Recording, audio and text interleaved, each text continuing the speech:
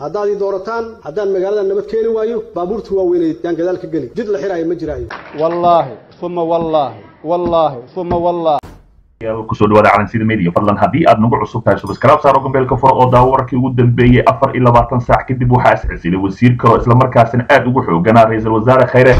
oo ah garabkiisa ah waa wasiirka arrimaha gudaha la shaqayn jira. Islamarkaasina waxaa soo baxaya furfurka ama kala jabka nabad iyo nool kadib markii wasiirada ay intooda badan labaatan iyo afar saac qaarkood ay doonayaan inay halkaas isku sharaxaan waa galmudug hase ahaatee ninkii ugu dambeeyey ayaa iminka casilay cabdulaahi faarax wehliye oo ka mid ah musharaxiinta u taagan xilka madaxtinimada ee maamulka galmudug ayaa ku dhawaaqay inuu iska casilay xilkii uu ka hayay xukuumadda ra'iisul wasaare khayre islamarkaasina saaxiib dhow la ahaa ra'iisul wasaare xasan cali khayre. Afar labaatan saac kadib ayuu noqonayaa wasiirkii labaad oo iska casilo wasiirada ra'iisul wasaare khayre. Musharax cabdulaahi faarax ayaa iska casilay xilkii wasiiru dowlaha wasaaradda arrimaha gudaha isagoona ra'iisul wasaare khayre iyo saaxiibadiisa xukuumadda ugu mahadceliyey wada shaqayntii dhex martay intii ay ka wada tirsanaayeen xukuumadda federaalk soomaaliya gaar ahaan tiimka ra'iisul wasaare xasan cali khayre musharaxan ayaa sababta uu isaga casilay xilkaasi ku sheegay inay tahay isagoo doonaya inuu u tartamo xilka madaxtinimada ee maamulka galmudug iyadoo maalmaha soo socda la filayo in dhacdo doorashooyinka lagu tartamo xilkaasi. Islamarkaasina maalinta berri ah la doonayna halkaasi ay ka dhacdo guddoomiyaha baarlamaanka ee maamulkaasi wasiirkan ayaa shir shir jaraa'id uu ku qabtay dhuusamareeb ku sheegay xukuumadda in ay faragelin toos ah ku hayso dhismaha maamulka galmudug isagoo tilmaamay in handadaad lagu hayo xildhibaanada cusub ee la soo xulay jimcihii tagay islamarkaasina ra'iisul wasaare khayre iyo tiimkiisa ay handadaad culus ku hayaan islamarkaasina maadaama uu iscasilay iminkana eedeyn xoogan oo dusha kaga jeediyey. Maadaama oo wasiirada ka mid ahaa ra'iisul wasaare khayre iminkana musharax u yahay oo iska casilay ayuu eedeyntaas u jeediyey asigoo dhahay musharaxiinta ama asigoo dhahay xildhibaanada ayay fara ba'an ku hayaan ra'iisul wasaare khayre iyo tiimkiisa. Musharax cabdulaahi faarax ayaa la rumaysan yahay inuu taageero ka haysto maamulka ahlusuna waljamiica oo oo awood fiican ku leh guddiga baarlamaanka galmudug islamarkaasna labaatan xildhibaan oo nadiif ah banaanka u taallo. Inta kale ay soo iibsan karaanna ay macquul tahay in halkaas uu ku guulaysto wasiiru dowlaha howlaha guud ee xukuumadda soomaaliya axmed cabdi kaariye koorkoor ayaa horay ugu dhawaaqay inuu xilkaasi iska casilay maadaama uu ka mid yahay musharaxiinta u taagan xilka madaxtinimada galmudug islamarkaasina malaayiin dollar ee villa soomaaliya ku bixi rabto koorkoor ayaa ah musharaxa ay wadato xukuumadda soomaaliya ay doorashada galmudug u doonaysa in halkaasi kursiga ku fadhiisto waxaana la filayaa in lacag badan oo la siinayo xildhibaanada codaynaya ay ku baxdo sidii uu ugu soo bixi lahaa xilkaasi islamarkaasina malaayiin doolar loo qorsheeyey. Lacagihii canshuurta ah ee laga qaaday madaxtooyada gaar ahaan qaarar magaalada muqdisho ayaa waxaa la leeyahay waxaa lagu bixinayaa inta badan musharaxa ay dowladda wadato. Si kastaba ha ahaatee taasi ayaa waxay noqonaysaa cadaalad darro waxaana macquul ah lacagta masaakiinta laga soo aruuriyay haddii musuq maasuq lagu bixiyo inuu halkaas ku guulaysan waayo. Si kastaba ha ahaatee madaxa ayaa layskula jiraa biraha ayaa layskula haystaa islamarkaasina doorashada ayaa meel xun marayso dhinaca kale wararkii ugu dambeeyey dhuusamareeb iyo tartanka loogu jiro guddoomiyaha baarlamaanka cusub ayaa iminka shirar isdabajooga halkaas ka socdo. Maanta oo khamiis ah ayaa la filayaa in xildhibaanada cusub ee dowlad goboleedka galmudug ay dhegaystaan ay dhegaystaan khudbadaha musharaxiinta u taagan qabashada xilka guddoomiyaha baarlamaanka galmudug islamarkaasina qof waliba laga dhegaysanayo waxqabadkiisa ka guddoomiye ahaan. Musharaxiinta isdiiwaan geliyey ee ku tartami doona xilka guddoomiyaha baarlamaanka galmudug oo gaaraya ilaa toddoba xubnood ayaa shalay isdiiwaangeliyey iyaga oo sidoo kalena gudbiyey taarikh nololoodkoodii iyo waxqabadkoodii qaarkood. Saddex musharax oo ka mid ah toddobada musharax ee isdiiwaan geliyey ayaa u taagan xilka guddoomiyaha baarlamaanka galmudug waxayna kala yihiin rag aad u acad oo ay kala wataan xasan sheekh maxamuud farmaajo iyo iyo qolada lagu magacaabo ahlu sunna waljamiica ama nin maxaafid caadi iska ee sida la sheegay maxamed nuur gacal oo ay wataan madaxweyne farmaajo ra'iisul wasaare khayre xildhibaan cabdinaasir aadan cusmaan oo ay si weyn u taageersan yihiin ama ka mid ah xisbiga xasan sheekh maxamuud islamarkaasina garab la ah mucaaradka. Cabdulaahi axmed calasow ayaa ah nin muxaafir islamarkaasina loo badinayo inuu ka mid yahay ahlusunna waljamiica laga yaabay inay saas ay dhacdo. Sidoo kale musharaxiinta guddoonka ku-xigeenka goobaad iyo labaad ee xilka u taagan ayaa waxa ay gaarayaan ilaa ku dhowaad afar qofood oo musharaxiin ah islamarkaasina guddoomiyaha koowaad iyo labaad ee baarlamaanka u taagan. Maalinta beriha oo jimco ah ayaa lagu wadaa in magaalada dhuusamareeb ee caasimada galmudug lagu qabto doorashooyinka guddoonka baarlamaanka galmudug islamarkaasina halkaasi lagu yagleelo guddoomiye baarlamaan cusub. Ammaanka goobta ay ka dhacayso doorashada ayaa aad loo adkeeyey iyadoona waddooyinka lagu arkayo ciidamo ka tirsan kuwa dowladda federaalk soomaaliya sida gaarka u tababaran ee halkaasi lagu daldalayo bilihii la soo dhaafay tartanka xilka guddoomiyaha baarlamaanka iyo cidda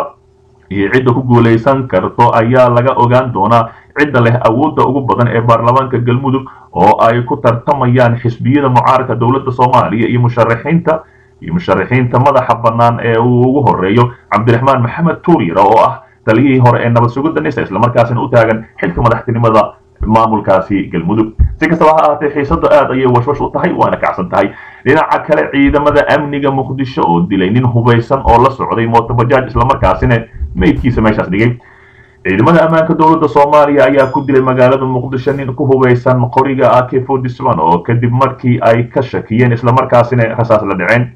falkan ayaa xalay ka dhacay isgoyska maanaboolya ee degmada shibis kadib markii ciidamada halkaasi ku lahaa bar control ku soo baxay nin hubaysan oo la socday mootobajaaj waddada maraysay islamarkaasina istaajiyeen kadibna ay dileen. Warar mar dambe soo baxaya ayaa sheegaya in ninka la dilay uu ka mid ahaa ilaalada guddoomiye ku-xigeenka maamulka degmada kaaraan ee gobolka banaadir. Islamarkaasina laga sheekiyay asigoona bajaad saarnaa qorigiisina iska watay. Dilka ka hor ninka hubaysan iyo ciidamada ammaanka ayaa waxaa la sheegay inuu dhex maray muran xoogan oo sababay in markii dambe rasaas lagu furo ninka qoriga watay islamarkaasina goobta ku dhintay. Ciidamo kala tirsan dowladda ayaa dilka kadib halkaasi gaaray iyagoo qaaday meydkii iyo qorigii oo ku hubaysnaa ninka dilay mana jiro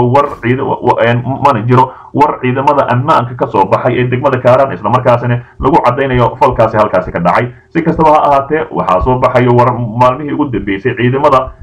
dowladda federaalk soomaaliya oo dadka inta badan si bilaa micno daraa u dilo dhinaca kale xildhibaan sheegay inuu ka badbaaday weerar la doonaya in lagu qaarijiyo islamarkaasina si la yaab loogu badbaaday. Xildhibaan ka tirsan baarlamaanka dowlad goboleedka puntland ayaa lagu rasaaseeyey xalay magaalada garowe caasimada puntland. Xildhibaanka oo magaciisa la yidhaahdo faarax maxamed dalman ayaa dabley aan la garanaynin ay rasaas ku fureen xilli uu u sii gelayay hoyga uu ka degan yahay magaalada garowe islamarkaasina rasaas ood laga qaaday ayaa ka badbaaday. Faarax ayaa sheegay in la rasaaseeyey balse uu ka badbaaday kadib markii uu iska difaacay weerarkii lagu soo qaaday sida uu sheegay.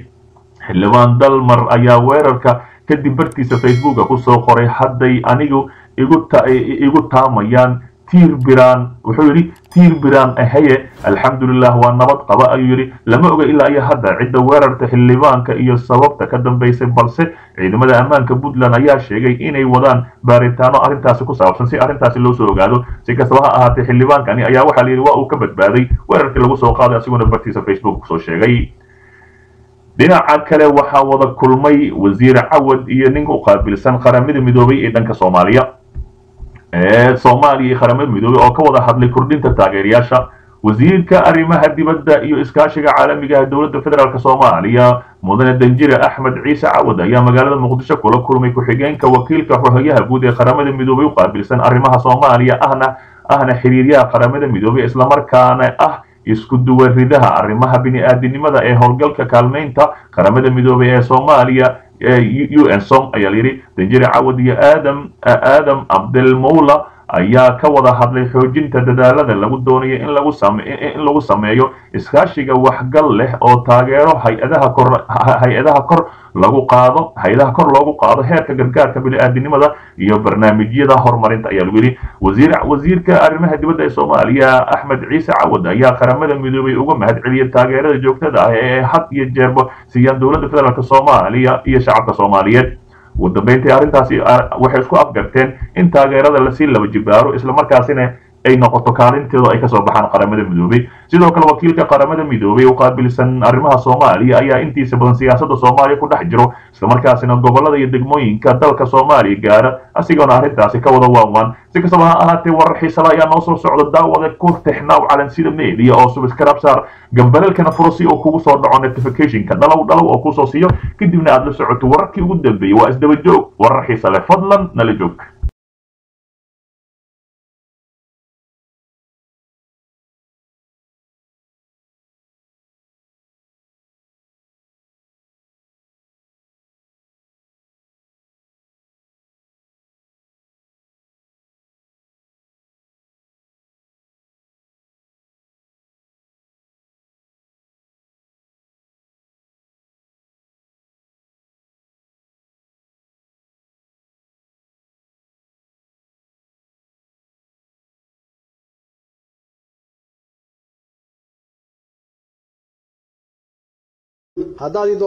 haddaan magaalada nabad keeni waayo baabuurta waaweyneed yaan gadaal ka geli jid la xiraayo ma jiraayo wallaahi uma wallaahi wallaahi uma wallaahi